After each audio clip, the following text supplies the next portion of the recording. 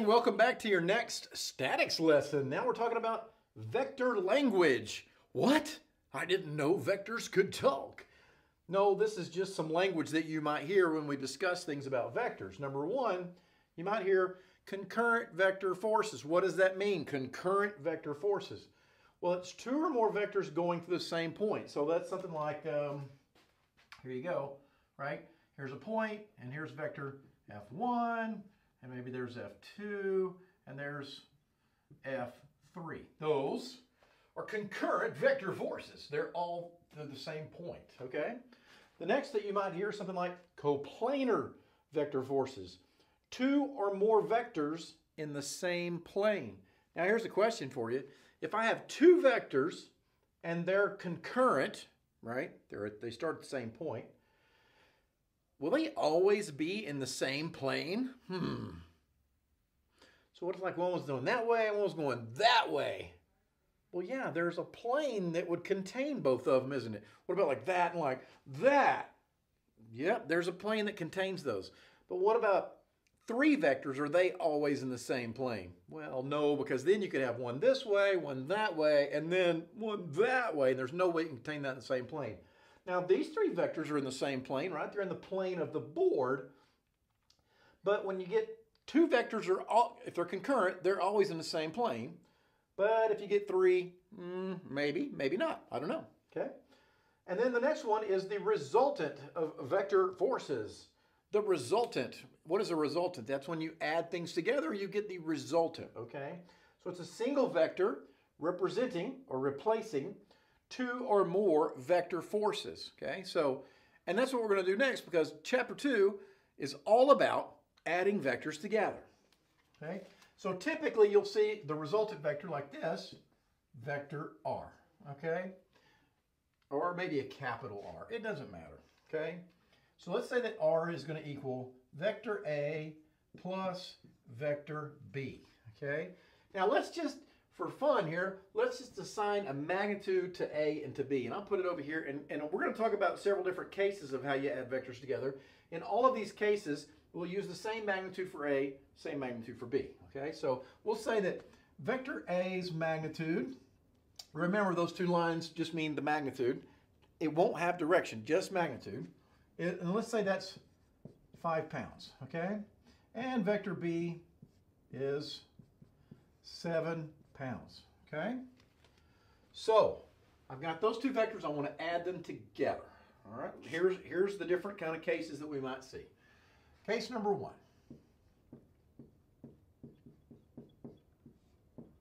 Okay, you've got this, vector A, vector B.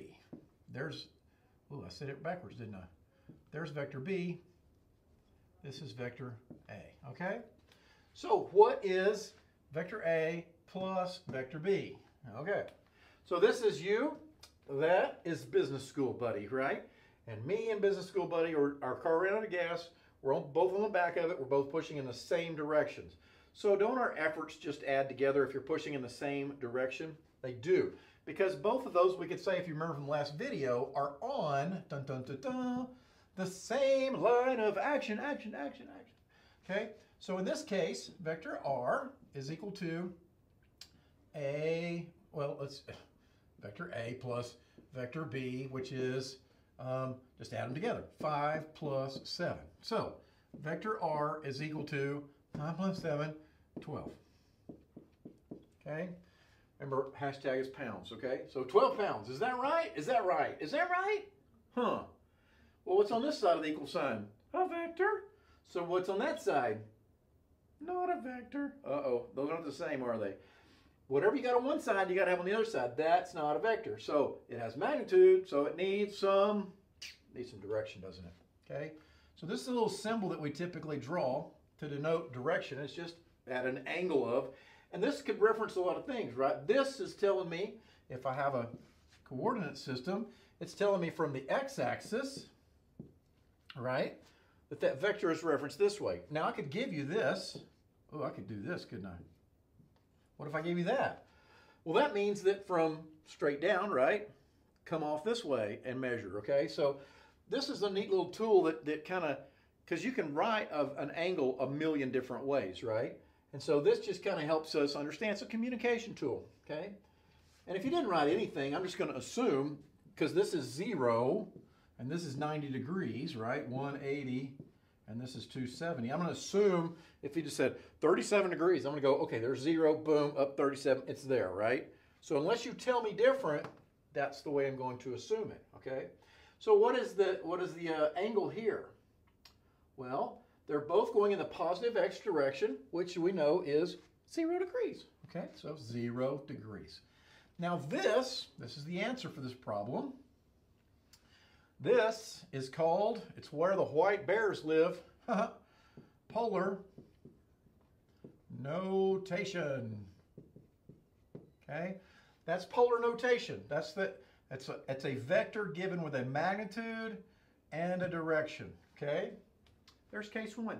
How simple is that? That's too easy, isn't it? Let's talk about case two. Okay. Case two, I'm still adding A plus B. Okay.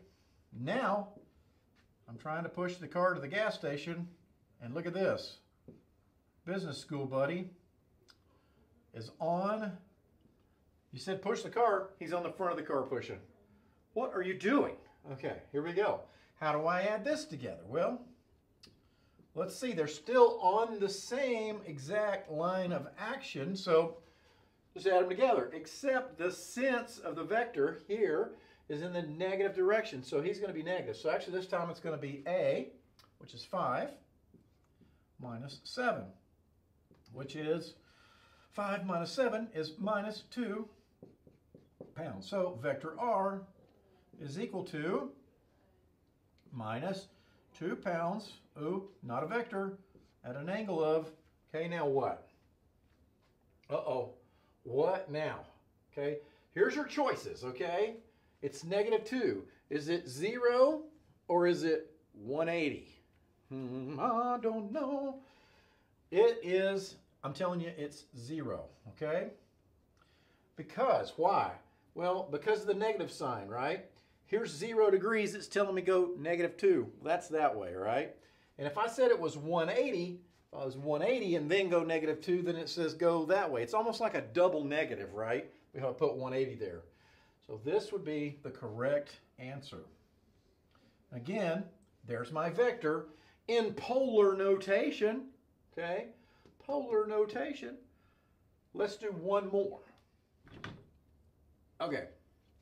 We're going to do case number, well, case number three, okay? Okay, so let me erase this. Give us some room here. Give me some room, man. Okay, case number three. Same two vectors. Still adding them together here. I almost lost my deal there. Uh, okay, here you are. Push the car to the gas station. What are you doing, business school buddy? He's under the car now, pushing straight up on the car. What are you doing? You said push on it. Okay, so how do I do this? How do I add two vectors if they're not on the same line of action? Okay, we have to use a little trick here. We have to go back and remember this. The triangle rule, okay? Now you might remember the triangle rule, but you might not. You might remember a para parallelogram, parallel, I can't even spell that, parallela, parallel, uh, is that right? That's not right, Graham. Parallel, parallel, two L's, one L. Parallelogram rule. Oh my goodness, my brain just quit working right there okay? Or you may hear it called, probably this is the one you remember, the tip to tail rule, okay? They're all the same thing. And no matter where you hear it, what you hear, those three things there, all the same thing. So no matter how you hear it, um, they all do the same thing. They say, it says this, take one vector and then take the second vector and move his tail to the tip of the first vector. So we would go over here and we have this, okay? B.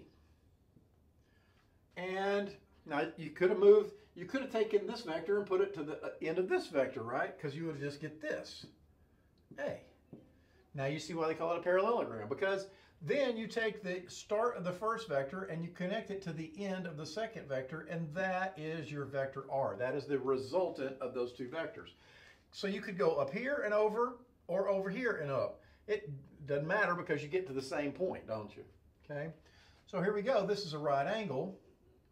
Um, and we remember that B is 7. Okay.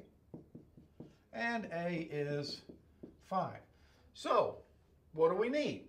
We need to find out how big R is. Well, okay, that looks like a right triangle to me. And I remember something about right triangles. I remember uh, A squared plus B squared equals C squared. Or in our case, A squared plus B squared equals R squared, doesn't it? Okay, so that would be 5 squared plus 7 squared square root is equal to R. And so R equals calculator. Okay, so 5 squared plus 7 squared equals square root of the answer 8.60. Okay, so vector R is equal to 8.60 pounds. Oh yeah, I definitely need some direction here. I do need some direction in my life. Okay, and the direction is, here's horizontal, and the direction is this angle right here, okay? We'll call it theta. So how do I find angle theta? Oh yeah, SOHCAHTOA, right? Let's see, what do I know? I know the opposite side and I know the adjacent side. Ooh, how about tangent? Tan of theta is equal to opposite, 7, divided by adjacent, 5. Okay, here we go. 7 divided by 5 equals, and then inverse tan, inverse tan of the answer is equal to 54.5 degrees. So theta equals 54.5 degrees, okay? So 54.5 degrees, and that is how you do that, okay? And that's adding vectors together. So we did when they're on the same line of action, different directions, and then they're 90 degrees. But what if they're not 90 degrees? Come back next time. It's going to get harder. Okay, here we go. Come back see the next video.